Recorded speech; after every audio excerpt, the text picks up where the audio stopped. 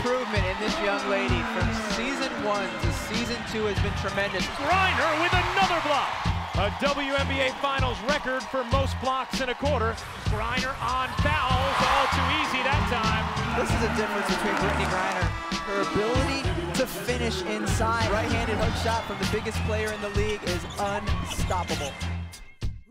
Hey, here's some things you don't know about me, Brittney Griner. I love to longboard. I'm big, board's big. Just fell in love with it on campus. Saw people, you know, with these really big boards, and I was like, hey, I'll give it a shot. You know, it worked out for me. Something else you might not know, I love to fish. My dad took me fishing when I was a little girl and just kind of fell in love with it. It's real peaceful, just you, the fish. It's real relaxing out there on the water. Something else you might not know, Growing up, I watched Big Syl play a lot. She's kind of the same as me with the long arms, and blocking shots. I watched her at LSU. I've gotten this respect for her.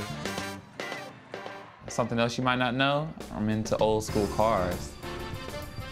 I just recently got 1970 Nova SS, all custom, blue and silver.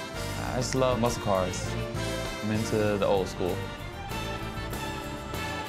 Griner shows her versatility. Brittney Griner is limitless.